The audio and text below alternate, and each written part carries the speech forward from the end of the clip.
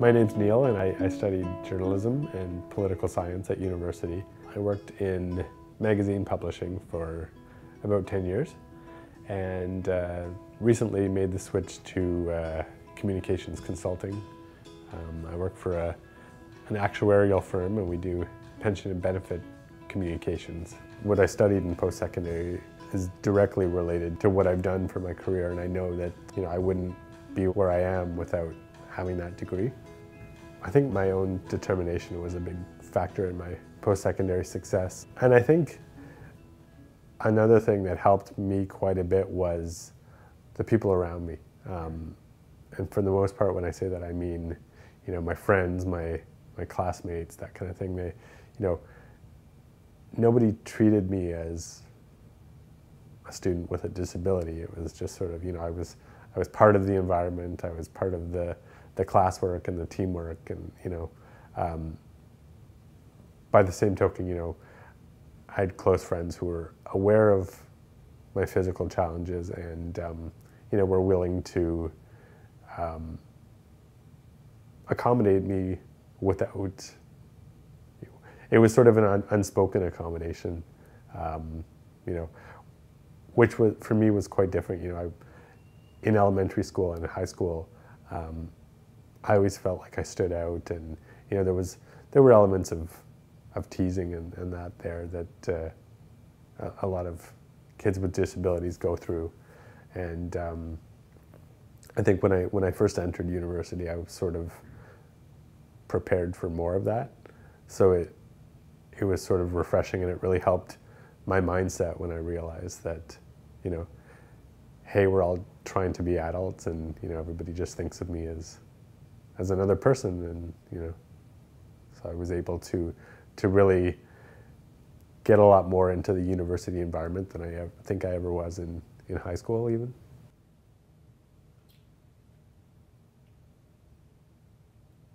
My disability isn't sort of quite as visibly obvious as, as some others, and um, the more visi visible it is, I think the more people are willing to to ask about it and to you know ask if you need accommodation. Um, for me, that wasn't the case, so I I had to sort of decide as much as possible um, what I could handle on my own and what I needed to to reach out to others for. Um, and ultimately, you know, I sort of chose the uh, going my own way more often than not. But uh, you know, I think if I were to, to give advice to any student going in. It's to really understand that about themselves. You know, what, what can you handle on your own and what, what do you need help with? You know, because there's no, there's no shame in asking for help and there are people out there who, who want to help you, who want to, you know, help accommodate and help you succeed.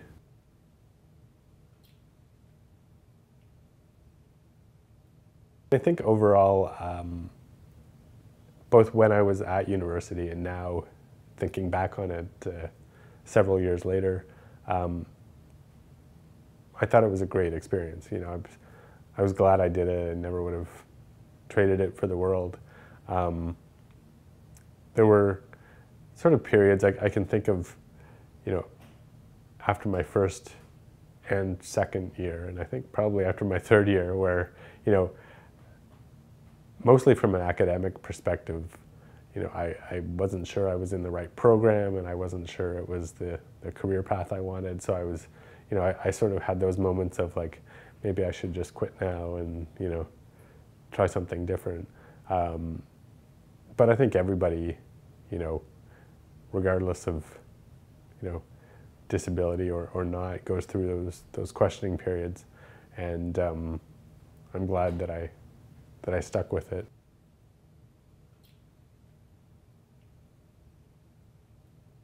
There's nothing I regret. I look back on post-secondary education as probably the best time in my life, you know, just from the perspective of, of learning so much about the world and myself and, you know, having that freedom and becoming an adult, becoming independent. Um, for me, um, you know, if if I did have the chance to go back and do it again, one thing that I might do is to be more be more comfortable with the fact that I had a disability and I was in an environment where, you know, I could get together with other people who had disabilities through um, through organizations and you know on, on campus uh, um, communities, just to um, to talk about issues and to to sort of take in people's different perspectives. Um, for me, you know, my mindset was always, I'm, I'm just a regular person, so I don't need to, I don't need that community. But I think, um, I think everybody needs, needs a sense of community and a, a sense of, um, here's a group of people who are, who are similar to me, so um, why not take advantage of that, that shared knowledge? Um, so I would, I would probably absorb that a little bit more.